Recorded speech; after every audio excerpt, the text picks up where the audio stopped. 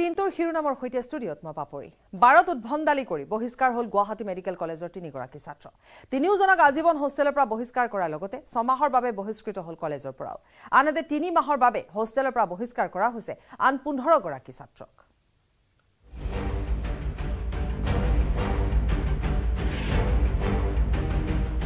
বাৰত চিকিৎসক ছাত্ৰৰ উদ্ভণ্ডালি। এই ঘটনা সংঘটিত হৈছে যোৱা নিশা। যোৱা নিশা চাৰে ন বজাৰ পৰা চাৰে সাত বজাৰ পৰা চাৰে ন বজালৈকে এখন বাৰত এই বাৰখনত এইকেইগৰাকী চিকিৎসক আৰু ছাত্ৰই মিলি তাত আছিল। তিনিগৰাকীকৈ চিকিৎসক আৰু ছাত্ৰ তাত আছিল আৰু তেওঁলোকে তাত হোষ্টেলৰ যি নিয়ম থাকে সেই নিয়ম ভংগ কৰি এই বাৰখনত উপস্থিত হৈছিল। আৰু তাত তেওঁলোকে উপস্থিত হৈ তেওঁলোকে প্ৰথমতে ঠিকে আছিল। পাছলৈ পাছলৈ তেওঁলোকৰ সৈতে কাজিয়াত লিপ্ত হৈছিল। বাৰৰ মেনেজাৰ তথা বাৰৰ কৰ্মচাৰীৰ সৈতে কাজিয়াত লিপ্ত হয় এনেকুৱা এটা পৰ্যায় পাই গৈ যে ইটো পক্ষই অৰ্থাৎ বাৰৰ মেনেজাৰ আৰু কৰ্মচাৰী লগতে এইফালে চিকিৎসক আৰু শিক্ষাৰ্থী ছাত্ৰ দুগৰাকী ছাত্ৰও আছিল। গতিকে তেওঁলোকে কনিষ্ঠ চিকিৎসক আছিল। গতিকে তেওঁলোকে হতাহতিলৈ আহে মাৰ পিতলৈ আহে। আৰু পৰৱৰ্তী সময়ত বাৰ মেনেজাৰজন আঘাতপ্ৰাপ্ত হয় আৰু দুগৰাকীকৈ শিক্ষাৰ্থী আঘাতপ্ৰাপ্ত হৈছে গুৰুতৰভাৱে আঘাতপ্ৰাপ্ত হৈছে। এতিয়া মূল কথাটো হৈছে যে এখন বাৰত নিশাৰ ভাগত উদ্ভণ্ডালি সৃষ্টি কৰে এটা উদ্ভ উত্তপ্ত পৰিস্থিতিৰ সৃষ্টি কৰে তাত জি এম চি এইচৰ কেইগৰাকীমান ছাত্ৰ। তথা তাৰ ভিতৰত এগৰাকী ইণ্টাৰ্ণশ্বিপো আছিল হয় এই তিনিওজনেই এডমিট কৰিলে যে তাহাঁতে মদ খাব যোৱাটো সঁচা। ছেভেন থাৰ্টিত মদ খাব গৈছিল আৰু তাতে মদ খাই ডিনাৰৰ সময়ত তাহাঁতৰ কিবা কথাত কটাকটি হ'ল। তাৰপিছত তেওঁলোকৰ মানে বাৰৰ ল'ৰাই কিবা এটা দলিয়াই আমাৰ ল'ৰা এজনক ইনজিঅ'ৰ্ড কৰিলে। আৰু লগতে তেওঁলোকৰ মাৰপিট লাগিল। মাৰপিট লগাৰ পিছত আমাৰ ল'ৰাও দুজন ইনজিঅ'ৰ্ড হৈছে তেওঁলোকৰো কাৰোবাৰ ইনজিঅ'ৰ্ড হৈছে বুলি শুনিছোঁ। ইয়াৰে এজন চিকিৎসক তেওঁ ইণ্টাৰ্ণী শুভাংশু শইকীয়া। তাৰপিছত দুজন এজন ফাইনেল ইয়েৰৰ ষ্টুডেণ্ট শশাংক কাশ্যপ আৰু এজন ঋষিকেশ দীপাছ এই তিনিজন এই তিনিজন ল'ৰাই তেওঁলোকে আমাক এডমিট কৰিছে যে হয় আমি মদ খাব গৈছিলোঁ। আৰু মদ খাইছিলোঁ মদ খোৱাৰ পিছত বিল দিয়াৰ হৈ কিবা খা- কথা কটাকটি হৈছিল। গতিকে তেওঁলোকে যিহেতু তেওঁলোকে নিজকে গিল ফিল কৰি মানে তেওঁলোকে এডমিট কৰিছে আমাৰ অথৰিটিৰ সন্মুখত আৰু তেওঁলোকে আমাৰ হোষ্টেল আৰু কলেজ ৰুল যিটো আমাৰ নিয়ম ছিক্স থাৰ্টিৰ পিছত ষ্টুডেণ্ট যাব নোৱাৰে বা নটা নটাৰ পিছত ডক্টৰ যাব নোৱাৰে হোষ্টেলত ৰিপৰ্ট কৰিব লাগে। এই গোটেইখিনি কলেজ আৰু হোষ্টেল ৰুল ভায়লেট কৰাৰ কাৰণে ইনডিচিপ্লিনেৰী মানে এক্টিভিটি কৰাৰ কাৰণে আমি কলেজ কৰ্তৃপক্ষৰ পৰা তেওঁলোকক তাৎক্ষণিকভাৱে আজিৰ পৰাই তেওঁলোকক আমি ছমাহৰ পৰা কলেজৰ পৰা এক্সপেল কৰিলোঁ। আৰু লগতে ফৰ এভাৰ এই তিনিজনক আমি হোষ্টেলৰ পৰা উলিয়াই দিছোঁ।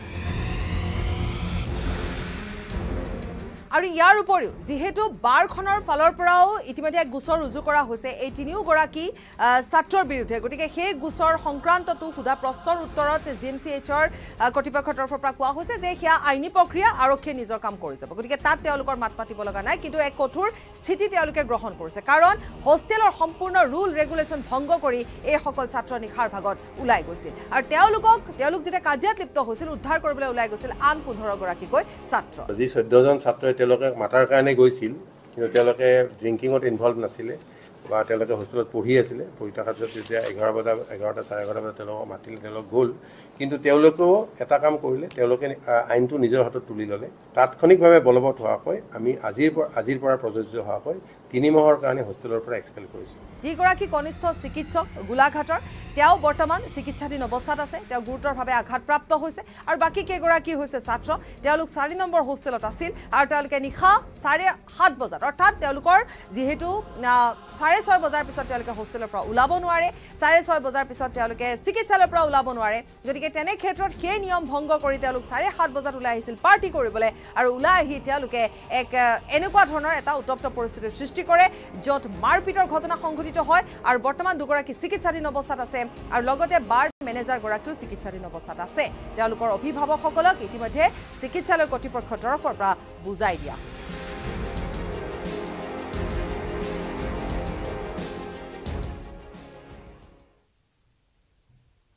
সমগ্ৰ দেশৰ ভুৱা কল চেণ্টাৰৰ মাষ্টাৰ মাইণ্ড এজনী গুৱাহাটী আৰক্ষীৰ বিস্ফোৰক তথ্যৰ পিছতে ভুৱা কল চেণ্টাৰৰ বিৰুদ্ধে দেশজুৰি চলিল চি বি আইৰ অভিযান। দেশৰ চৌব্বিছটা স্থানত অভিযান চলাই উৎখাত কৰিলে বৃহৎ চাইবাৰ চক্ৰ।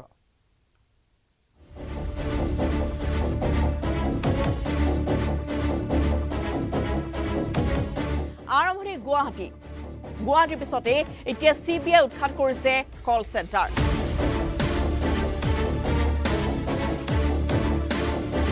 দেশৰ বিভিন্ন প্ৰান্তত চি বি আই অভিযান চলাই ইতিমধ্যে বহুকেইটা অবৈধ কল চেণ্টাৰ উৎখাত কৰিছে।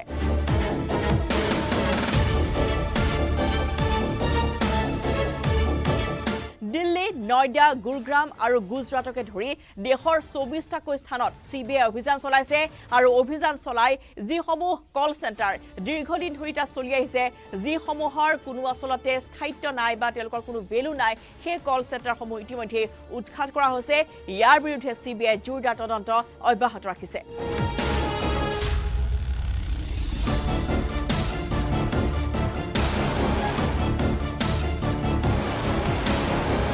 আপুনি শুনি হয়তো আচৰিত হ'ব যে দুই দশমিক দুই কোটি টকাৰ নগদ ধনৰ লেনদেন লগতে সম্পত্তিৰ তথ্য আৰু ক্ৰিপ্ট' কাৰেঞ্চি দিয়াৰ বিনিয়োগ এই সমগ্ৰ তথ্য ইতিমধ্যে চি বি আই অভিযান কালত উৎখাত কৰিছে।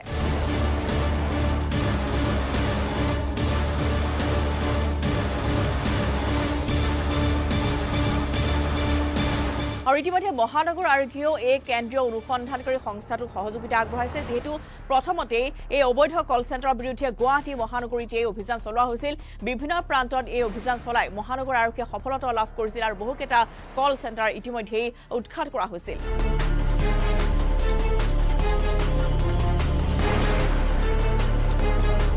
চি বি আই দুহেজাৰ বাইছ বৰ্ষতে এই সন্দৰ্ভত গোচৰ ৰুজু কৰিছিল যদিও বিশেষ তথ্য প্ৰমাণ যিহেতু চি বি আইৰ হাতত তেতিয়া নাছিল গতিকে এই ক্ষেত্ৰত বেছি সফলতা চি বি আই লাভ কৰিব পৰা নাছিল। কিন্তু গুৱাহাটী মহানগৰীত যেতিয়া ইয়াৰ বিৰুদ্ধে অভিযান চলিল সেই গুৱাহাটী মহানগৰীৰ আৰক্ষীয়ে সহায় সহযোগিতা আগবঢ়ালে চি বি আইক আৰু তাৰপিছতে এতিয়া দেশৰ চৌবিছটাকৈ স্থানত এই কল চেণ্টাৰসমূহৰ বিৰুদ্ধে অভিযান অব্যাহত আছে।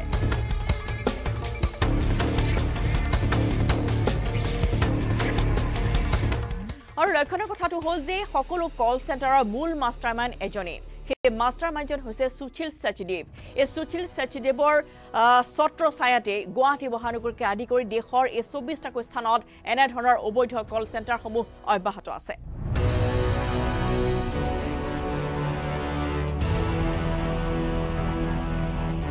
আৰু এতিয়া মহানগৰ আৰক্ষীৰ এই তথ্যৰ ভিত্তিতে চি বি আই যিহেতু অভিযান চলাই আছে অভিযান অব্যাহত আছে। দেশৰ চৌবিছটাকৈ স্থানত চি বি আই এই অভিযান অব্যাহত ৰাখিছে আৰু কেনেদৰে ক'ত ক'ত আচলতে এই কল চেণ্টাৰসমূহৰ জৰিয়তে ধন আহৰণ কৰি মানুহক ভুৱা তথ্য দি বা মানুহৰ সাঁচতীয়া ধন আত্মসাত কৰি এই কল চেণ্টাৰবোৰে ক'ত ক'ত এইসমূহ ধন বিনিয়োগ কৰিছিল বা কেনেধৰণে লাভান্বিত হৈছিল এই চক্ৰটো সকলো তথ্য চি বি আই উৎখাত কৰিবলৈ সক্ষম হৈছে।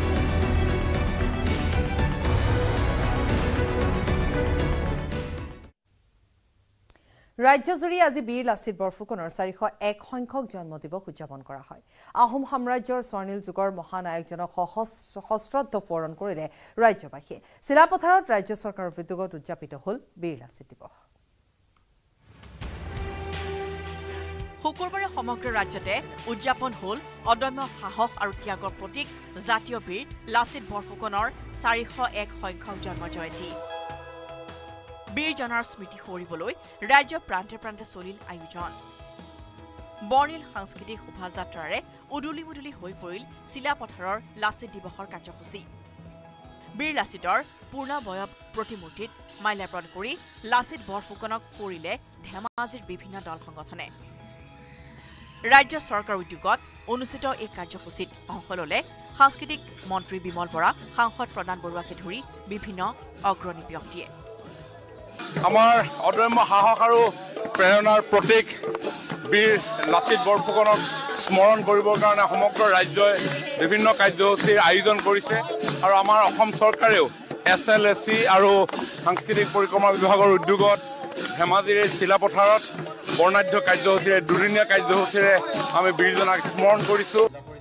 শিৱসাগৰত ৰংপুৰ প্ৰাচীন কীৰ্তিচিহ্ন সংৰক্ষণ সমিতিৰ উদ্যোগতো উদযাপন হয় লাচিত দিৱসৰ অনুষ্ঠান। যোৰহাটৰ ঐতিহাসিক লাচিত মৈদামতো দিনজোৰা কাৰ্যসূচীৰে আয়োজন হ'ল লাচিত দিৱসৰ।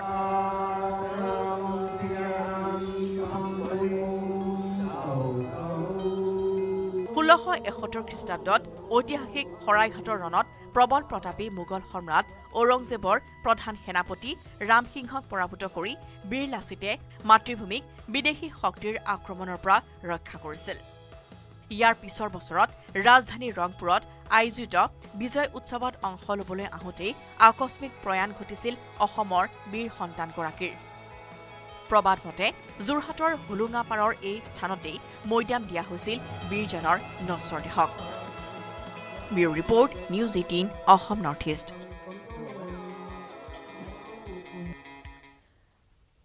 আদালতৰ নিৰ্দেশনাও মানিবলৈ নিবিচাৰে। যোৰহাটৰ একাংশ আৰক্ষীয়ে ন্যায়ালয়ক চেলেঞ্জ কৰিবলৈ গৈ ভয়ংকৰ বিপদত পৰিছে যোৰহাট আৰক্ষীৰ তদন্তকাৰী বিষয়া। ন্যায়ালয়ৰ ঊৰ্ধত গৈ কাম কৰিবলৈ বিচাৰে যোৰহাটৰ একাংশ আৰক্ষীয়ে।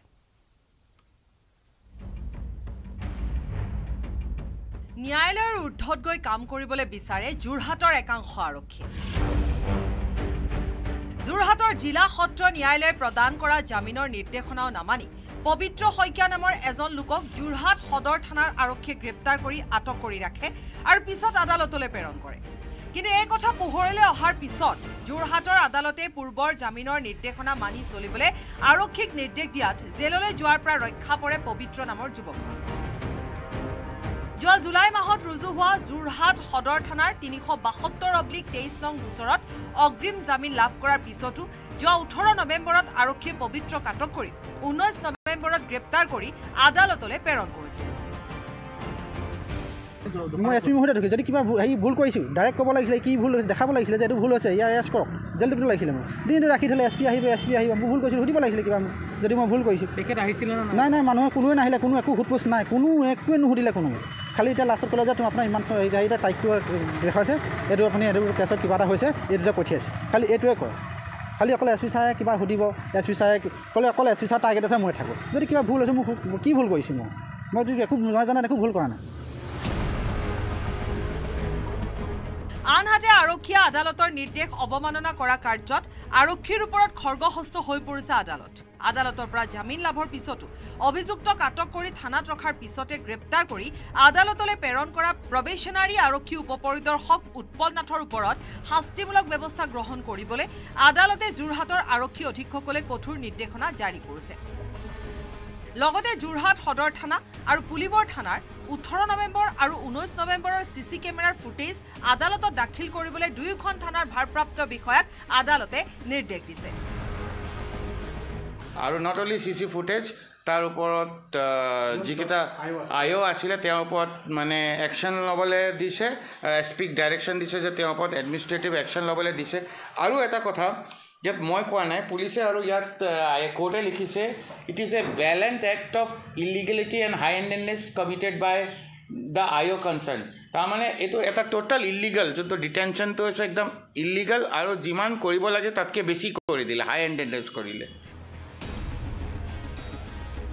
এই ঘটনাই বিভিন্ন মহলত ব্যাপক প্ৰতিক্ৰিয়াৰ সৃষ্টি কৰিছে। আদালতৰ নিৰ্দেশকো কেৰেপ নকৰা যোৰহাট আৰক্ষীৰ এনে একাংশ বিষয়াৰ কৰ্মকাণ্ডক লৈ যোৰহাটৰ ৰাইজ সচকিত হৈ পৰিছে। যোৰহাটৰ পৰা Gautam Bora report news eighteen Assam north east.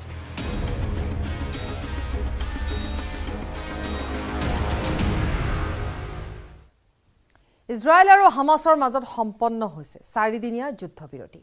এই চাৰিদিনৰ ভিতৰত ইজৰাইলে ঘূৰাই দিব লাগিব এশ পঞ্চাছজন পেলেষ্টাইনিক। একেদৰে হামাছে ঘূৰাই দিব লাগিব পঞ্চাছজন ইজৰাইলী নাগৰিকক।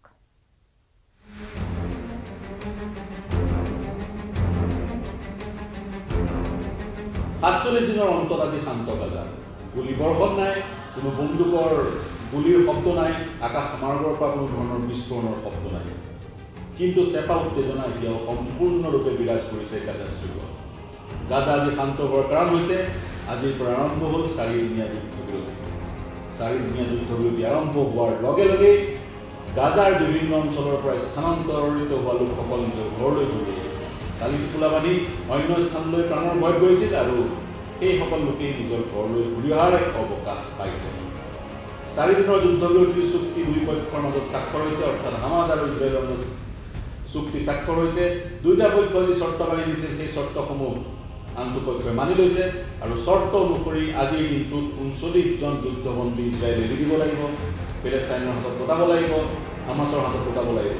ইয়াৰ বিপৰীতে হামাছে তেৰজন বন্দী যি তেৰজন লোকক অভিশপ্ত শনিবাৰটোত অক্টোবৰৰ সাত তাৰিখে বন্দী কৰি হামাছে লৈ আহিছিল সেই আকস্মিক আক্ৰমণটো কৰি সেইসকলক মুক্তি দিব লাগিব বন্দী কৰি লৈ আহিছিল দুশ চল্লিছজন লোকক কিন্তু প্ৰতিদিনেই তেৰৰ পৰা পোন্ধৰজন লোকক মুক্তি দিয়াৰ প্ৰতিশ্ৰুতি দিছে হামাছে আৰু এই চাৰিদিনৰ যুদ্ধবিৰতি সম্প্ৰসাৰ হ'ব পাৰে যদিহে চাৰিদিনৰ পিছতো প্ৰতিদিনে দহজনকৈ বন্দী লোকক হামাছে এৰি দিয়ে ইজৰাইলে কৈছে ইয়াক কিন্তু সাময়িক যুদ্ধবিৰতি চাৰিদিনৰ অন্তত তেওঁলোকে পুনৰ আক্ৰমণ আৰম্ভ কৰিব ইজিপ্ত কাটাৰ আৰু মাৰ্কিন যুক্তৰাষ্ট্ৰৰ হস্তক্ষেপত এই চুক্তি সম্ভৱ হৈছে আৰু সমান্তৰালকৈ যিবোৰ ট্ৰাক অপেক্ষাৰত হৈ আছিল সীমান্তত ইজিপ্ত সীমান্ত আৰু ইজৰাইল সীমান্তত গাজাত প্ৰৱেশ কৰিবলৈ সেই ট্ৰাকসমূহে গাজাত প্ৰৱেশ কৰিছে।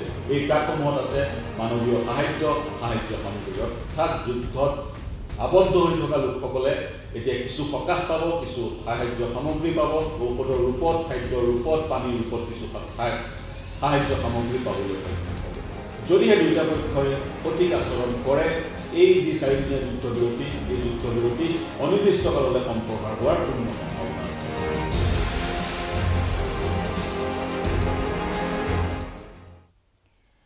গুৱাহাটীত ভূমি জালিয়াতিৰ ভয়ংকৰ তথ্য সদৰি কৰিলে মহানগৰ আৰক্ষী আয়ুক্তই দালালৰ সহযোগত ভুৱা মাটিৰ মালিকৰ নামত মাটি কিনা বেচা কৰিছে এটা শক্তিশালী চক্ৰই।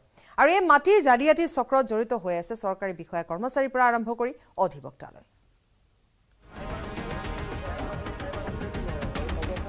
চকু বহল হৈছে আৰক্ষী আয়ুক্ত দিগন্ত বৰাৰ। দুই দালালৰ সম্পত্তিৰ পাহাৰ দেখি চকু বহল হৈছে আৰক্ষী আয়ুক্তগৰাকীৰ।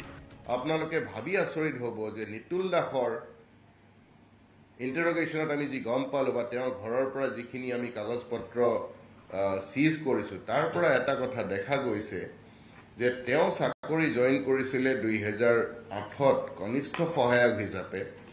দুই হেজাৰ তেৰ চনত গুৱাহাটী আহিছিলে গুৱাহাটীত পষ্টিং হৈছে আৰু তেৰ চনৰ পিছত আজিলৈকে এই দহ বছৰত তেওঁ যিখিনি বৰ্তমান আমাৰ হাতত পৰা যিখিনি ডকুমেণ্ট তাৰ পৰা দেখা গৈছে যে ছয় কোটিতকৈ বেছি টকাৰ সম- সম্পত্তিত তেওঁ ইনভেষ্ট কৰিছে। এজন কনিষ্ঠ সহায়কে ইমানখিনি টকা পালে ক'ৰ পৰা? তাৰমানে এই জালিয়াতি চক্ৰটো কিমান ভয়ংকৰ আৰু কিমান বিয়পি পৰিছে। মূলত এই দুই দালাল জড়িত আছে গুৱাহাটীৰ মাটিৰ লেনদেনৰ পৰ্বত। দীৰ্ঘদিনে চলাই আহিছিল এটা কুখ্যাত বেহা।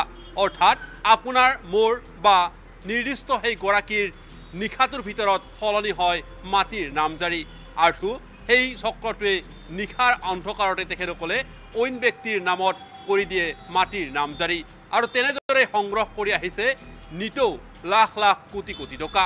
একমাত্ৰ এয়া সম্ভৱ হৈ উঠিছিল চৰকাৰী বিষয়া কৰ্মচাৰীৰ সহযোগ ফলস্বৰূপে। আৰু যি সহযোগ কৰা সেই উপপঞ্জীয়ক ইতিমধ্যেই জালত পৰিছে আৰক্ষীৰ। নিতুল দাস নামৰ এইগৰাকী উপপঞ্জীয়কে দীৰ্ঘদিনে চলাই আহিছিল বেহা। অৱশ্যে কেতিয়াৰ পৰা চলাই আহিছিল এই বেহা তাৰ কোনো সঠিক উত্তৰ নাই। সমান্তৰালভাৱে তাপস চৌধুৰী নামৰ দালালটোও জড়িত এই মাটি নামজাৰি পৰ্বত। বশিষ্ঠ আৰক্ষীত ৰুজু হোৱা এটা গোচৰৰ পিছতে বহলৈ আহিছে এই সমগ্ৰ তথ্য।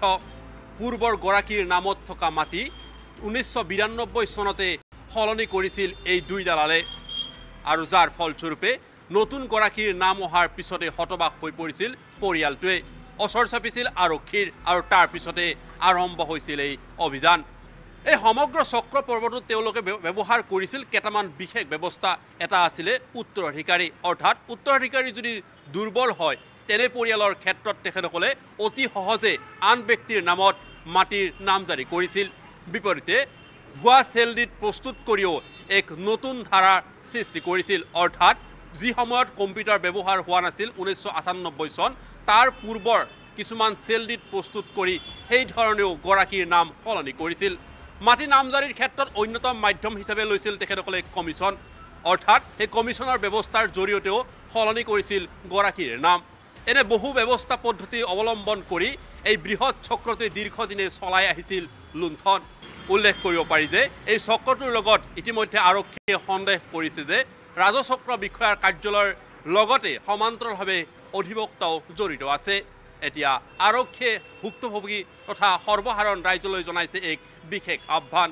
যদি শেহতীয়াকৈ তেওঁলোকৰ পৰিয়ালত এই ধৰণৰ ঘটনা সংঘটিত হৈছে তেতিয়াহ'লে অচিৰেই ওচৰৰ থানাখনৰ সৈতে যোগাযোগ স্থাপন কৰক। পূৰ্বে কোনোদিনে আচলতে কল্পনা নকৰা এই ঘটনা পোহৰলৈ অহাৰ পিছতে এতিয়া তবত মানিছে তদন্তকাৰী আৰক্ষীয়েও দীৰ্ঘদিনে চলাই অহা এই ব্যৱস্থাৰ বিৰুদ্ধে এতিয়া মহানগৰ আৰক্ষীয়ে কিদৰে যুঁজ আৰম্ভ কৰিব সেয়াও হৈ পৰিছে এক ডাঙৰ বিষয়। যি দুই তিনিগৰাকী এই মুহূৰ্তলৈকে গ্ৰেপ্তাৰ হৈছে সেয়াই শেষ নহয়। আৰক্ষীৰ সন্দেহ এই চক্ৰৰ তালিকা হ'ব দীঘলীয়া। ইণ্টাৰগেশ্যনত যিখিনি আমাৰ সন্মুখলৈ আহিছে এনেকুৱা বহুকেইটা চক্ৰ উপপঞ্জীয়কৰ কাৰ্যালয়ত বৰ্তমান সক্ৰিয় হৈ আছে যাৰ তথ্য পুলিচৰ হাতত বৰ্তমান পৰিছে। এয়া মাথোন অভিযানৰ এক আৰম্ভণি বুলিহে মন্তব্য কৰে মহানগৰ আৰক্ষী আয়ুক্তগৰাকীয়ে।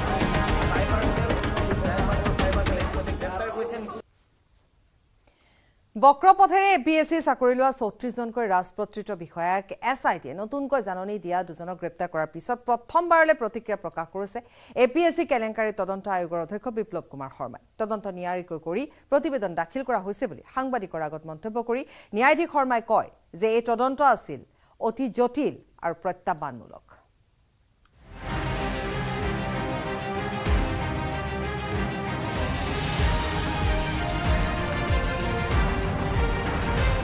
এ পি এছ চিৰ ভয়ংকৰ কেলেংকাৰী। আৰু এই কেলেংকাৰীৰ পিছতেই এতিয়া সৰব হৈ পৰিছে আৰক্ষী প্ৰশাসন।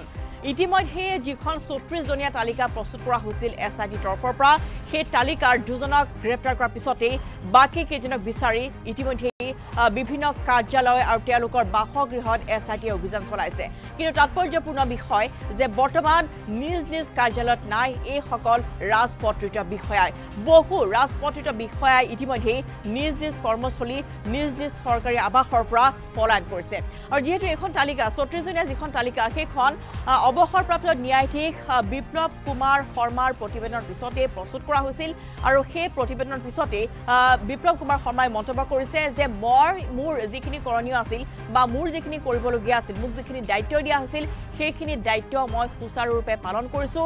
ইয়াৰ পৰৱৰ্তী দায়িত্ব আৰক্ষী প্ৰশাসনে চলাই যাব। সেইটো মই ক'ব নোৱাৰিম মইতো প্ৰতিবেদন দিছোঁ। প্ৰতিবেদন দিয়াৰ পিছত সেই প্ৰতিবেদনখনৰ ওপৰত ভিত্তি কৰি চৰকাৰে চালি জাৰি চাই যিখিনি ব্যৱস্থা ল'ব লাগে সেইখিনি ব্যৱস্থা ল'ব। আৰু এছ আই টিৰ যিটো কথা কৈছে ইয়াতে দুটা এছপেক্ট হয় দুটা দিশ ইয়াতে হয়। এটা হ'ল যে ন্যায়িক আয়োগে তাত তাত ক্ৰিমিনেল মানে ফৌজদাৰী গোচৰৰ নিচিনাকৈ তাত চাব নোৱাৰে। ন্যায়িক আয়োগে এটা অনুসন্ধান কৰি কিখিনিনো খেলি মেলি আছিলে সেইখিনি আঙুলিয়াই দিব পাৰে। আৰু ফৌজদাৰী গোচৰত আপুনি যিটো এছ আই টি বুলি কৈছে সেইটো পুলিচৰ কাম তেওঁলোকে ক্ৰিমিনেল কেছত বা ফৌজদাৰী মোকদ্দমাৰ ক্ষেত্ৰত যিখিনি দিশ চাব লাগে সেইখিনি তেওঁলোকে চাব। তাত আঙুলিয়াই দিছোঁ যে এইখিনি এইখিনি তাত বিসংগতি আছিলে এইখিনি এইখিনি গাফিলতি আছিলে কোনসকল জগৰীয়া আছিলে কোনসকল কেণ্ডিডেট পৰীক্ষাত কিনো এনেকৈ অন্যায়ভাৱে বাছনি প্ৰক্ৰিয়াত উঠিছিলে সেইবিলাক তাত আঙুলিয়াই দিছে। তাৰ ওপৰত এতিয়া চৰকাৰৰ ওপৰত নিৰ্ভৰ কৰিব কি ব্যৱস্থা প্ৰাৰ্থীৰ বিসংগতি বা অনিয়মৰ যি কাহিনী সকলো এই প্ৰতিবেদনত সন্নিৱিষ্ট কৰা আছে। আৰু ইতিমধ্যেই আমি দেখুৱাইছিলোঁ যে কেনেদৰে টেবুলেশ্যনত মাৰ্কছ বৃদ্ধি কৰি দিয়া হৈছিল। এই প্ৰাৰ্থীসকলৰ তেওঁলোকে লিখিছিল এটা কিন্তু তেওঁলোকৰ বহীৰ যি নম্বৰ সেয়া বাহিৰত বৰ্ধিত কৰি দিয়া হৈছিল। ৰাকেশ পাল বাহিনীয়ে বঢ়াই দিছিল। গতিকে সকলো তথ্য এই প্ৰতিবেদনত বিপ্লৱ কুমাৰ শৰ্মাই উল্লেখ কৰিছিল। তেওঁ উল্লেখ কৰিছে যে সকলো বিসংগতি বা অনিয়ম মই সন্নিৱিষ্ট কৰিছোঁ মোৰ প্ৰতিবেদনত। ইয়াৰ পৰৱৰ্তী কাৰ্য চলাই যাব আৰক্ষী প্ৰশাসনে। দুহেজাৰ তেৰ আৰু দুহেজাৰ চৈধ্য বৰ্ষৰ সকলো যি অনিয়ম আছিল যিহেতু দুহেজাৰ তেৰ বৰ্ষত এই পৰীক্ষা হৈছিল আৰু এই সকলোকে এই ৰাজপত্ৰিত বিষয়াসকলে চাকৰি পাইছিল দুহেজাৰ পোন্ধৰ বৰ্ষত। গতিকে দুহেজাৰ তেৰ আৰু চৈধ্য বৰ্ষৰ সকলো যি অনিয়ম আছিল বা সকলো যি কথা আছিল সকলো মই প্ৰতিবেদনত তন্ন তন্নকৈ উল্লেখ কৰিছোঁ। গতিকে ন্যায়াধীশ বিপ্লৱ কুমাৰ শৰ্মাই উল্লেখ কৰিছে যে মই মোৰ যিখিনি কৰণীয় আছিল সেইখিনি ইতিমধ্যে সমাপ্ত কৰিছোঁ আৰু ইয়াৰ পিছত এইসকল ৰাজপত্ৰিত বিষয়াক গ্ৰেপ্তাৰ কৰা বা তেওঁলোকক দোষী সাব্যস্ত কৰা বা যি মই লিখিছোঁ সেই তাৰ পিছতেই বাকীখিনি দায়িত্ব প্ৰশাসনৰ থাকিব। গতিকে ইয়াৰ পিছত আৰু মোক ক'বলগীয়া একো নাই। মই মোৰ প্ৰতিবেদনত সকলো স্পষ্টকৈ উল্লেখ কৰিছোঁ বুলি উল্লেখ কৰিছে ন্যায়াধীশ বিপ্লৱ কুমাৰ শৰ্মাই।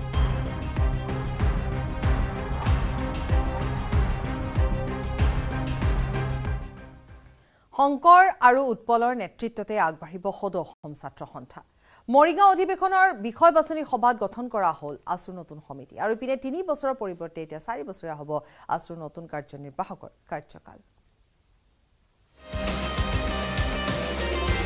পুৰণি সাজেৰে নতুন আছু আছুৰ নতুন কেন্দ্ৰীয় সমিতি ঘোষণা কৰা হৈছে। মৰিগাঁৱত ঘোষণা কৰা হৈছে নতুন কেন্দ্ৰীয় সমিতি। কিছু নতুন নিয়ম তাত সংযোজন কৰা হৈছে। গতিকে সেই নতুন নিয়ম আৰু নতুন কেন্দ্ৰীয় সমিতিত নতুন সম্পাদক সভাপতিৰ কথা ক'বলৈ ওলাইছোঁ। উৎপল শৰ্মা আছুৰ নতুন সভাপতি সাধাৰণ সম্পাদক হিচাপে পুনৰ নিৰ্বাচিত হৈছে শংকৰজ্যোতি বৰুৱা। বিষয়ববীয়া সভাতো নতুন কমিটি ঘোষণা কৰা হৈছে। ভাৰপ্ৰাপ্ত সভাপতি আছিল উৎপল শৰ্মা। মুখ্য উপদেষ্টা হিচাপে এতিয়াও সমুজ্জ্বল কুমাৰ ভট্টাচাৰ্য থাকিব। চাৰি বছৰীয়া হ'ব আছুৰ নতুন কাৰ্যনিৰ্বাহকৰ কাৰ্যকাল। পূৰ্বে এই কাৰ্যকাল তিনি বছৰীয়া আছিল। মহকুমা আছু এতিয়া উঠাই দিয়া হৈছে জিলা আছু থাকিব।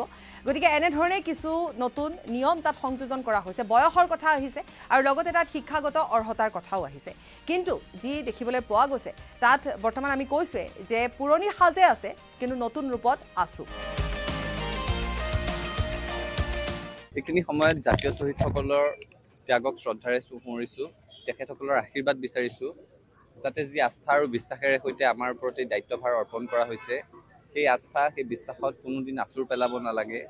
তাৰ কাৰণে জাতীয় জীৱনত কাম কৰি যাওঁতে ৰাইজৰ অভিভাৱকত্ব কামনা কৰিছোঁ আশীৰ্বাদ কামনা কৰিছোঁ।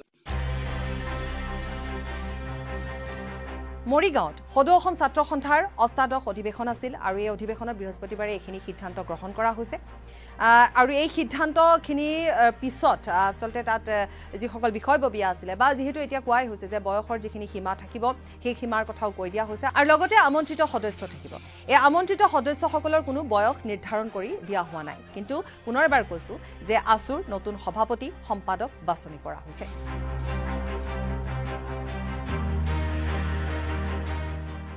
দ্বিতীয়বাৰৰ কাৰণে মোৰ ওপৰত আস্থা আৰু বিশ্বাস ৰাখি এই গভীৰ দায়িত্ব আমাৰ ওপৰত অৰ্পণ কৰিছে। মই এই মুহূৰ্তত এটাই প্ৰতিশ্ৰুতি দিব বিচাৰিছোঁ যি আস্থা আৰু গভীৰ আশাৰে তেখেতসকলে আমাৰ ওপৰত যি দায়িত্ব অৰ্পণ কৰিছে সেই দায়িত্ব আমি সততা আৰু নিষ্ঠাৰে পালন কৰি যাবলৈ প্ৰতিশ্ৰুতিবদ্ধ। অনাগত দিনত ছাত্ৰ সন্থাক ছাত্ৰ সন্থাক অধিক গতিশীল ৰূপত আগুৱাই লৈ যোৱা জাতীয় জীৱনৰ বিষয়সমূহ শিক্ষা এই গোটেই বিষয়সমূহক একলগ কৰি আগবঢ়াই লৈ যাবৰ কাৰণে আমি সকলোৱে চেষ্টা কৰিম। গতিকে মই সমগ্ৰ অসমবাসী ৰাইজৰ আশীৰ্বাদ দিহা পৰামৰ্শ এই মুহূৰ্তত মই কামনা কৰিছোঁ।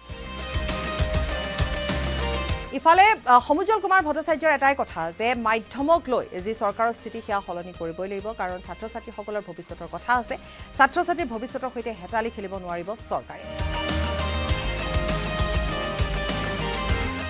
সকলো বিষয়ত ছাত্ৰ ছাত্ৰীৰ সুৰক্ষিত সুৰক্ষিত শৈক্ষিক ভৱিষ্যত নিশ্চিত কৰিবৰ কাৰণে অসমত খিলঞ্জীয়া মানুহৰ প্ৰভুত্বৰ নিৰন্তৰ ৰাখিবৰ কাৰণে অসম চুক্তিৰ প্ৰত্যেকটো দোফা ৰূপায়ণৰ কাৰণে সাংবিধানিক ৰক্ষা কৱচ সম্পৰ্কত বিপ্লৱ শৰ্মাৰ কমিটিয়ে দিয়া ৰূপা প্ৰতিটো পৰামৰ্শ কাৰ্যকৰী কৰিবৰ কাৰণে কা বাতিলৰ কাৰণে প্ৰতিটো বিষয়ত যেতিয়ালৈকে চৰকাৰে ফলাফল নিদিয়ে তেতিয়া সংগ্ৰাম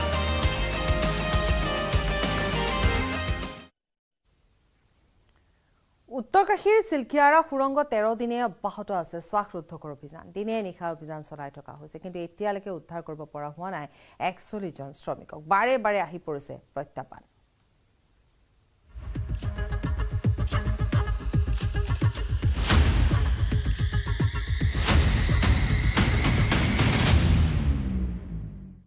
আজি নিশালৈ একচল্লিছজন শ্ৰমিক মুকলি আকাশৰ তললৈ অহাৰ পূৰ্ণ সম্ভাৱনা আছে। উত্তৰাখণ্ডৰ উত্তৰ কাশীত সেই দুৰ্ভোগী একচল্লিছজন শ্ৰমিক যোৱা তেৰ দিন ধৰি আবদ্ধ হৈ আছে সেই অভিশপ্ত নিৰ্মীয়মান সুৰংগটোত। মোৰ পিছফালৰ এনিমেটেড ভিডিঅ'টোৰ যোগেদি কিছু বিশ্লেষণ আগবঢ়াবলৈ চেষ্টা কৰিম। উদ্ধাৰ অভিযান চলি আছে। সমান্তৰাল খননৰ যি উদ্ধাৰ অভিযান সেই উদ্ধাৰ অভিযান শেষ পৰ্যায় পাইছেগৈ। দুই ধৰণৰ উদ্ধাৰ অভিযান চলি আছে। এক ধৰণৰ যোগেদি খনন কৰা হৈছে সন্মুখৰ ফালেদি সমান্তৰাল খনন আৰু ওপৰেদিও উলম্বী উলম্ব খননৰ ব্যৱস্থা কৰা হৈছে। কিন্তু এই মুহূৰ্তত অগ্ৰাধিকাৰ দিয়া হৈছে সন্মুখেদি কৰা সমান্তৰাল খননক। আৰু প্ৰায় সাতচল্লিছ মিটাৰ খনন সম্পূৰ্ণ হৈছে আৰু খনন সম্পূৰ্ণ কৰি পাইপো সংস্থাপিত কৰা হৈছে। আঠশ মিলি মিলিমিটাৰ ব্যাসৰ পাইপ সংস্থাপিত কৰা হৈছে। এন ডি আৰ এফে ইতিমধ্যে এক ডেমনষ্ট্ৰেশ্যন প্ৰদৰ্শন কৰিছে। কেনেকৈ সেই আঠশ মিলিমিটাৰ ব্যাসৰ পাইপেদি শ্ৰমিকসকলক উদ্ধাৰ কৰা হ'ব? আৰু প্ৰায় দহ মিটাৰ খনন কাৰ্য বাকী আছে কিন্তু দহ মিটাৰ খনন কাৰ্যত কিছু বাধাৰ সৃষ্টি হৈছে। মন কৰিব যি স্থানত খনন কৰি থকা হৈছে সেয়া হৈছে ধ্বংসস্তূপ। সেই স্থানত আছে পাহাৰৰ পৰা খহি অহা শিল মাটি আৰু নিৰ্মীয়মান সুৰংগটোৰ আন আন সামগ্ৰীসমূহ। গতিকে সেইবোৰ ভেদি খনন সম্পূৰ্ণ কৰিব লাগিব। বাকী মাত্ৰ দহ মিটাৰমান খনন বাকী আছে। দহ মিটাৰ খনন সম্পূৰ্ণ হ'লেই সেই দহ মিটাৰত আঠশ মিলিমিটাৰ ব্যাসৰ পাইপ সংযুক্ত কৰা হ'ব। আৰু তেতিয়াই এই একচল্লিছজন শ্ৰমিকক সকলো ঠিকে থাকে থাকিলে আজি নিশাৰ ভিতৰত বাহিৰলৈ উলিয়াই লৈ অহা হ'ব। আৰু বাহিৰলৈ উলিয়াই লৈ আহিয়েই তেওঁলোকক চিকিৎসালয়ত ভৰ্তি কৰোৱা হ'ব। এখন অস্থায়ী চিকিৎসালয় নিৰ্মাণ কৰি উলিওৱা হৈছে। এম্বুলেঞ্চ মজুত আছে হেলিকপ্টাৰ মজুত আছে কেন্দ্ৰীয় মন্ত্ৰীগৈ সেই স্থানত উপস্থিত হৈছে। তৎপৰতা সকলো ফালৰ পৰা প্ৰদৰ্শন কৰা হৈছে। ছয় সাতটা কেন্দ্ৰীয় চৰকাৰৰ দ্বাৰা পৰিচালিত প্ৰতিষ্ঠান সমগ্ৰ উদ্ধাৰ কাৰ্যত জড়িত হৈ পৰিছে। এতিয়া প্ৰশ্ন হয় কিয় এয়া হ'বলৈ পালে? দুহেজাৰ ওঠৰ চনতে কেন্দ্ৰীয় ঘাইপথ মন্ত্ৰণালয়ে কিন্তু এই ধৰণৰ দুৰ্ঘটনাৰ আশংকা প্ৰকাশ কৰিছিলে। তাৰ সমান্তৰালকৈ উচ্চতম ন্যায়ালয়ৰ দ্বাৰা নিয়োজিত উচ্চ ক্ষমতা সম্পন্ন কমিটিয়ে সুৰংগ নিৰ্মাণৰ ক্ষেত্ৰত দুই দুই দুই দিশে পাঁচ দশমিক পাঁচ মিটাৰৰ কেৰিয়েজ ৱে নিৰ্মাণৰ কথা কৈছিলে। আৰু সমান্তৰালকৈ আন এক প্ৰতিবেদনত সেই উচ্চ ক্ষমতা সম্পন্ন কমিটিৰ আন এক প্ৰতিবেদনত সেই থুনুকা পাহাৰত অতি সাৱধানে নিৰ্মাণ কাৰ্য চলোৱাৰ পৰামৰ্শ দিছিলে কিন্তু সেই সকলোবোৰ আওকাণ কৰাৰ কাৰণে এনেধৰণৰ দুৰ্ঘটনা সংঘটিত হ'ল বুলি বিভিন্নজনে ক'ব খোজে। কিন্তু এই সময়ত অগ্ৰাধিকাৰ দিয়া হৈছে সুস্থ ৰূপত যাতে সেই শ্ৰমিকসকল উদ্ধাৰ হৈ আহে উদ্ধাৰ কাৰ্যত তাৰপিছত তদন্ত হ'ব তদন্তৰ পিছত কাৰ ভুলৰ কাৰণে এয়া হ'ল সেই কথা পোহৰলৈ আহিব।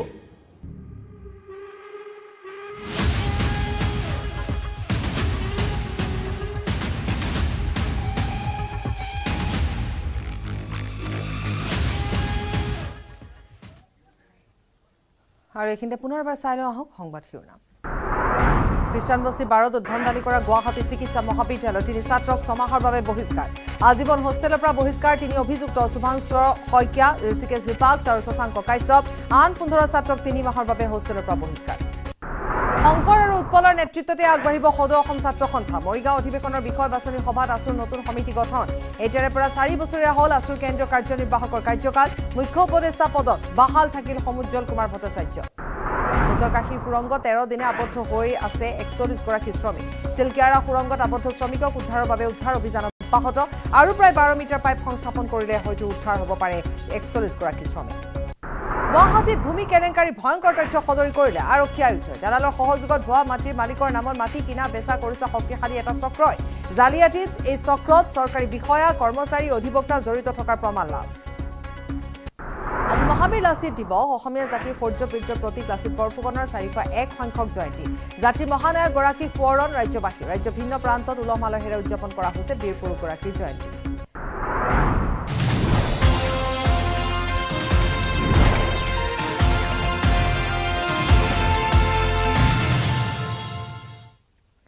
মুখ্যমন্ত্ৰী হিমন্ত বিশ্ব শৰ্মা আৰু প্ৰদেশ কংগ্ৰেছৰ সভাপতি ভূপেন বৰাক এ আই ডি এফত যোগদানৰ আহ্বান লগতে কাজিৰঙাৰ ভোটাৰক জীৱ জন্তুৰ লগত তুলনা কৰি ভূপেন বৰাক তীব্ৰ কটাক্ষ কৰিলে এ আই ডি এফ প্ৰধানগৰাকীয়ে। চৰ্চা চলিছে কাজিৰঙা সমষ্টিত কংগ্ৰেছৰ হৈ ভূপেন বৰাই প্ৰাৰ্থিত্ব আগবঢ়াব।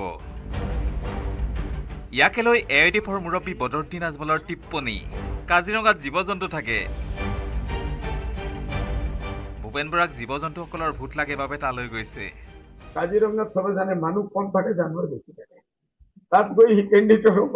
তাততো মানুহেই নাপাব ভোট কোনে দিব? কাজিৰঙাত গৈ জানুৱাৰে ভোট দিব লাগিব। লোকসভা নিৰ্বাচনক লৈ ইতিমধ্যেই খদমদম আৰম্ভ হৈ গৈছে দেশত। এই যুঁজত নামিবৰ বাবে অকলশৰীয়াকৈ সাজু হৈছে এ আই ডি এফ দলো। পূৰ্বে আন ৰাষ্ট্ৰীয় দলৰ অনুগ্ৰহ বিচাৰি ফুৰা বদৰুদ্দিন আজমলে এইবাৰ আকৌ আহ্বান জনাইছে ভূপেন বৰাৰ টীম আৰু হিমন্ত বিশ্ব শৰ্মাৰ টীমক এ আই ডি এফত যোগ দিবলৈ। বিজেপিৰ পৰা আপোনালোক দুইজন পাৰি আহক। কংগ্ৰেছো বিজেপিৰ পৰা আঁতৰাই আহক। আমি ইনভাইট কৰি আছো। নিৰ্বাচন আহিলে ৰাইজৰ দৃষ্টি আকৰ্ষণ কৰিবলৈ নেতাই যি টি কথা কৈয়েই আজমলে আকৌ সাংবাদিককে সুধিলে মোৰ ৰাজনৈতিক অৱস্থা কেনে বুলি আপোনালোকে ভাবে? নিৰ্বাচনত কি হ'ব? অৱশ্যে আজমলৰ দাবী আগন্তুক লোকসভা নিৰ্বাচনত ধুবুৰী লোকসভা সমষ্টিৰ পৰা অতি কমেও সাত আঠ লাখ ভোটত তেওঁ জিকিব। নিৰ্বাচনত জিকিব বুলি আত্মবিশ্বাসী হৈ তেওঁ হেনো কিনিছে নতুন কাপোৰো। একদম হাণ্ড্ৰেড পাৰ্চেণ্ট কাপোৰ তাপোৰ চাহ নতুন কাপোৰ পিন্ধিছোঁ ইলেকশ্যনৰ কাৰণে? আলহামদুলিল্লাহ জিকাৰ কাৰণে। কালি ইলেকশ্যন নাই ইলেকশ্যনৰ পিছত জিকাৰ কাৰণে নতুন কাপোৰ চিলাই আনিছোঁ। আজমল জয়ী হ'ব বুলি নিশ্চিত হৈ থকাৰ যুক্তি আগবঢ়াই তেওঁ ক'লে তেওঁৰ সন্মুখত হেনো এতিয়ালৈকে কংগ্ৰেছৰ কোনো প্ৰাৰ্থীয়েই নাই। গতিকে প্ৰতিদ্বন্দ্বিতা হ'ব কাৰ লগত? বিৰোধী মহাজোঁটে আস্থাত লোৱা নাছিল আজমলক। সেইকাৰণে এতিয়া আজমলে সুবিধা পালেই কংগ্ৰেছলৈ এৰে আক্ৰমণৰ শৰ ভূপেন খৰাৰ কাপড় টাপড় খাৰাপ হয়ে গেছে হ্যাঁ পাৰ্টি প্ৰেসিডেন্ট না। মানে সি কৈছে কি যে আমাৰ পঁচিছজনৰ ভিতৰত চৌব্বিছজন বিজেপিৰ লগত মিলাই আছে একজন যদি বাকী থাকে সেইটো হ'লে হেমন্ত বিশ্ব শৰ্মা। মতলব তাৰ লগত কোনো মানুহেই নাই তাৰ। ধুবুৰীৰ পৰা জ্যোতিৰ্ময় চক্ৰৱৰ্তীৰ report news eighteen Assam north east. চৌবিছৰ মহাৰণত যুঁজিবলৈ চাইকেল লৈ ওলাল বিধায়ক অখিল গগৈ। পেডেল মাৰি মাৰি শিৱসাগৰৰ গাঁৱে ভূঞে ঘূৰিছে বিধায়ক অখিল য'ত যাকেই লগ পাইছে তাতেই কৰিছে মত বিনিময় গৈছে জনতাৰ ঘৰলৈ।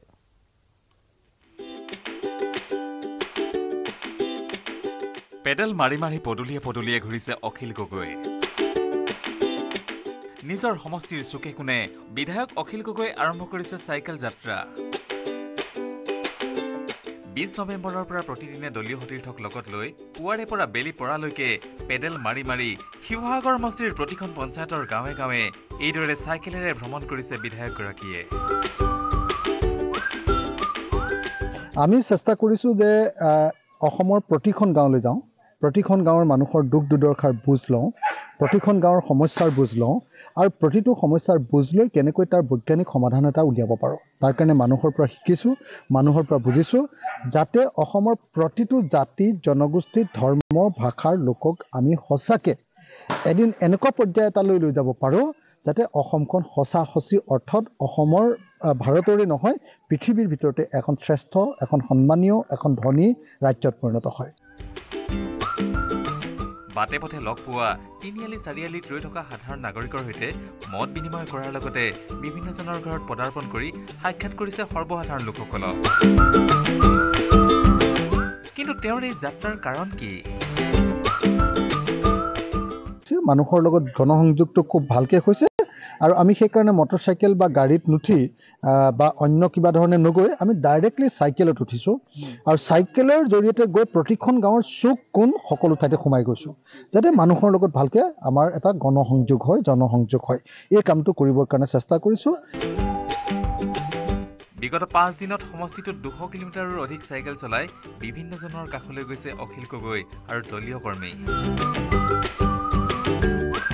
শিৱসাগৰৰ পৰা প্ৰদীপ গগৈৰ report news eighteen Assam north east. জনহিত জনসেৱাৰ্থে শপত লোৱাৰ পিছতো একাংশ আৰক্ষীৰ কাণ্ডই লজ্জানত কৰিছে এতিয়া সমগ্ৰ আৰক্ষী। নিশা থানাৰ সন্মুখত অচেতন হৈ পৰি থকা বৃদ্ধাৰ সহায়ৰ বাবে আগবাঢ়ি নাহিল আৰক্ষী। অসুস্থ বৃদ্ধাৰ বাবে এম্বুলেন্স বিচাৰি হাহাকাৰ কৰিলে থানাৰ বাহিৰত। কিন্তু থানাৰ গেট বন্ধ কৰি নীৰৱ দৰ্শক হৈ চাই ৰল আৰক্ষী।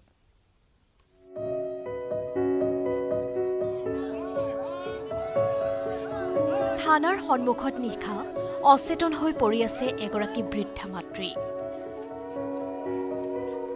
পিছে থানা চৌহদৰ পৰা ওলাই অহা নাই এজনো আৰক্ষী। থানাৰ বাহিৰত এম্বুলেন্স বিচাৰি হাহাকাৰ লাগিছে। থানাৰ গেট বন্ধ কৰি থানাৰ চৌহদৰ পৰা নিৰ্লজ্জভাৱে এই দৃশ্য চাই ৰল ডেৰগাঁও আৰক্ষীয়ে। এই ঘটনা সংঘটিত হ'ল ডেৰগাঁৱত এমাহ পূৰ্বে ট্ৰেফিক আৰক্ষী আৰু গাড়ী চালকে অত্যাচাৰ চলোৱাৰ অভিযোগ তুলি ফেচবুক লাইভ কৰি আত্মহত্যাৰ পথ বাছি লৈছিল অজয় দত্তই।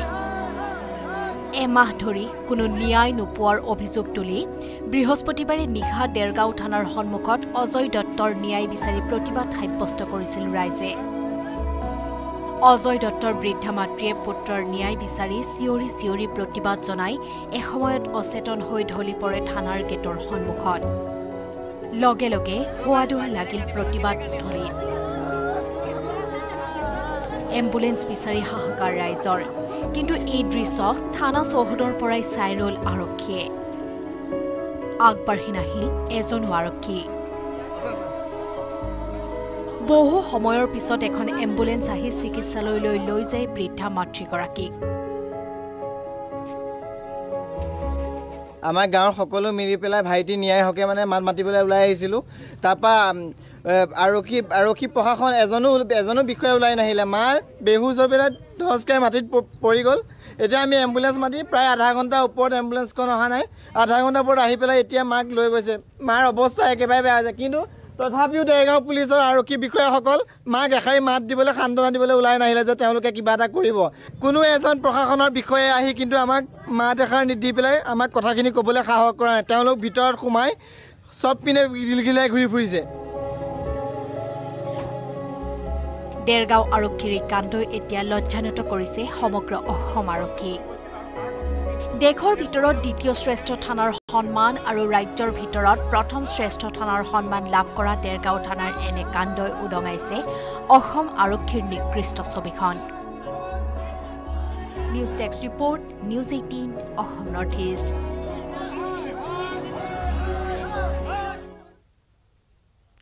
প্ৰেমৰ বাবে বন্দিত্বৰ জীৱন কটাবলগীয়া হ'ল এগৰাকী কিশোৰীয়ে। এজন যুৱকক ভাল পোৱাৰ বাবে পোন্ধৰ দিন ধৰি ভৰিত শিকলিৰে বান্ধি থলে পিতৃয়ে। ভাল পোৱাৰ বাবেই নিজৰ পৰিয়ালত অত্যাচাৰৰ বলি কিশোৰী। পোন্ধৰ দিন ধৰি শিকলিৰে ভৰিত বান্ধি ইটৰ প্ৰাণীৰ দৰে এৰাল দিলে পৰিয়ালৰ কিশোৰী সদস্যাক। কেমেৰাৰ সন্মুখত নিগ্ৰহৰ নিৰ্লজ্জ স্বীকাৰোক্তি ককাকৰ বান্ধি ৰাখিছে কিয়? বেয়া দি পেলাই কি কৰিছে মাথা পাগল মানে দিছে যাব গতিকে হেৰি কৰোঁ হিন্দুৰ বান্ধিছে। ভাল পোৱাৰ কাৰণে। অঁ ভাল পাইছিলে মানে ছোৱালীজনীয়ে। তাৰ কাৰণে আপুনি যদি চিকলিৰে বান্ধি ৰাখিছিলে। এটা এটা আছে। ৰূপহীহাটৰ ফাকলি গাঁৱৰ বিলপাৰত ঘটিল ভাবিব নোৱাৰা জঘন্য ঘটনা। প্ৰেমৰ বাবে কিশোৰীক দিলে তালিবানী শাস্তি। সন্তান নিয়ন্ত্ৰণৰ নামত পৰিয়ালৰ লোকেই চেৰাই গ'ল মানৱীয়তাৰ সীমা। কিশোৰীগৰাকীক শিকলিৰে বান্ধি ৰখা বুলি প্ৰত্যক্ষদৰ্শীয়ে আৰক্ষীক খবৰ দিয়াত আৰক্ষীয়ে শিকলিৰে ভৰি বান্ধি থোৱা অৱস্থাত উদ্ধাৰ কৰিলে কিশোৰীগৰাকীক মই ভাল পাইছিলোঁ। তাৰপিছত তাৰ লগত পলাই গৈছিলোঁ। তাৰপিছত মোৰ দেউতা কেৰেলাৰ পৰা মোক আমাক তাক আনিলে। আনি পেলাই সিক জেলত দি দিলে। সি মোক ঘৰত লৈ আহিলে। কিমান দিন বান্ধি ৰাখিছিলে? পোন্ধৰ দিন হ'ব। পোন্ধৰ দিন হ'ব। অঁ। কালি বান্ধি অঁ যাব নালাগে। ইতিমধ্যে ঘটনা সন্দৰ্ভত কিশোৰীগৰাকীৰ ককাকক আটক কৰি আৰক্ষীয়ে অব্যাহত ৰাখিছে তদন্ত। ৰূপহীহাটৰ পৰা Muzammil Haque news eighteen Assam north east. Breaking news Hailakandi D I D এফৰ সভাত উত্তপ্ত পৰিস্থিতি বদৰুদ্দিন আজমলৰ উপস্থিতিত প্ৰচণ্ড কাজিয়া এজন যুৱকে আজমলক প্ৰশ্ন কৰাত পৰিস্থিতি উত্তপ্ত হৈ পৰে। যুৱকজনক ওপৰ জুপৰি প্ৰহাৰ কৰে এ আই ডি এফৰ কৰ্মীয়ে। হাতে হাতে চকী লৈ কাজিয়াত লিপ্ত হ'ল দুই ফৈদ ঘটনাক কেন্দ্ৰ কৰি উত্তেজনা এ আই ডি এফৰ সভাখনত হাইলাকান্দি জিলাৰ আমালা গাঁৱত আয়োজিত এ আই ডি এফৰ এক কৰ্মী সভাত এই ঘটনা সংঘটিত হয়। প্ৰকৃততে এই সভাত আজমল উপস্থিত আছিল আৰু এজন যুৱকে আজমলক প্ৰশ্ন কৰিছিল আৰু সেই প্ৰশ্ন কৰাৰ পিছতে যুৱকজনৰ ওপৰত এনেধৰণে তেওঁক প্ৰহাৰো কৰা হৈছে আৰু লগতে তাত থকা যিসমূহ চকী মেজ আছে সেইসমূহ ভাঙি পেলোৱা হৈছে। আৰু নিজৰ মাজতে তেওঁলোকৰ এই কাজিয়া আৰম্ভ হৈছে। প্ৰচণ্ড কাজিয়া নিজৰ মাজতে হৈছে। যুৱকজনে প্ৰকৃততে আজমলক প্ৰশ্ন কৰিছিল। তাৰপিছত পৰিস্থিতি উত্তপ্ত হৈ পৰে। ওপৰ জুপৰি এ আই ডি এফৰ কৰ্মীয়ে যুৱকজনক প্ৰহাৰ কৰে। নিজৰ মাজতে তেওঁলোকৰ কাজিয়া হয়। হাতে হাতে চকী লৈ কাজিয়াত লিপ্ত হয়। ইজনে সিজনৰ গালৈ দলিয়াই দিয়ে চকী। ঘটনাক কেন্দ্ৰ কৰি পৰিস্থিতি যথেষ্ট উত্তপ্ত হৈ পৰে। এ আই ডি এফৰ সভাত এই ঘটনা আৰু এই সভাত যথেষ্ট সংখ্যক এ আই ডি এফৰ কৰ্মী উপস্থিত আছিল। আৰু এই কৰ্মী সভাত এই ঘটনাটো সংঘটিত হৈছে। যুৱকজনক ওপৰ জুপৰি প্ৰহাৰ কৰে এ আই ডি এফৰ কৰ্মী। আমি পুনৰবাৰ এইখিনিতে উল্লেখ কৰিছোঁ। প্ৰথমতে এই সভাখন দেখুৱাইছোঁ য'ত যথেষ্ট সংখ্যক এ আই ডি এফৰ কৰ্মী উপস্থিত আছে। আৰু বদৰুদ্দিন আজমল আছিলে এই সভাখনতে। তেওঁ কৰ্মীসকলৰ সৈতে মত বিনিময় কৰিবলৈ উপস্থিত হৈছিলে সভাখনত। তাৰ পিছৰ পৰিস্থিতি চাওক। এজন যুৱকে এটা প্ৰশ্ন কৰিছিল। সেই প্ৰশ্নৰ উত্তৰ দিয়াৰ সলনি যুৱকজনক প্ৰহাৰ কৰা হয়। পৰিস্থিতি উত্তপ্ত হৈ পৰে। যুৱকজনক প্ৰহাৰ কৰা হৈছে। একাংশ যি তাত কৰ্মী আছে দলীয় কৰ্মী আছে তেওঁলোকে যুৱকজনক চুচুৰাই লৈ গৈছে। চুচুৰাই দিয়াৰ উপৰিও দুটা পক্ষ হৈ গৈছে। এফালৰ পৰা যদি কোনোবাই চকী মেজ জ্বলিয়াই নিছে এফালে আনহাতে আন কোনোবাই চকী মেজ জ্বলিয়াইছে মুঠৰ ওপৰত এক অত্যন্ত এক দেখিবলৈ পোৱা গৈছে কেনেকুৱা ধৰণৰ এটা উত্তপ্ত পৰিস্থিতিৰ সৃষ্টি হৈছে। ইজনে সিজনক প্ৰহাৰ কৰিছে। প্ৰথমতে এই যুৱকজন যিজনে আচলতে এটা প্ৰশ্ন কৰিছিল বদৰুদ্দিন আজমলক। কিন্তু এই কৰ্মী সভাখনত বদৰুদ্দিন আজমলক কি প্ৰশ্ন সোধা গৈছিল সেয়া আমি কিছু সময় পিছত জনাম। কিন্তু এই মুহূৰ্তত নিউজ এইটিনত এক্সক্লুচিভ ভিজুৱেলছ দেখুৱাইছোঁ। যথেষ্ট সংখ্যক কৰ্মী ইয়াত আছিল। দলীয় কৰ্মী যথেষ্ট সংখ্যক আছিল। যুৱকজনে এটা প্ৰশ্ন কৰিছিল আৰু তাকে লৈ পৰিস্থিতি উত্তপ্ত হৈ পৰে। একাংশ দলীয় কৰ্মীয়ে যুৱকজনক প্ৰহাৰ কৰে তাৰ পিছতে দুটা ফৈদ হৈ পৰে আৰু কৰ্মীসকলৰ মাজতে এই উত্তপ্ত পৰিস্থিতিৰ সৃষ্টি হয়। কৰ্মীসকলৰ মাজতে ইজনে সিজনক এনেধৰণে প্ৰহাৰ কৰাৰ ঘটনা সংঘটিত হয় পিছত একাংশ কৰ্মীয়ে তেওঁলোকক পৰিস্থিতি নিয়ন্ত্ৰণ কৰিবলৈ চেষ্টা চলায় যদিও বা কিন্তু পৰিস্থিতি উত্তপ্ত হৈ থাকে।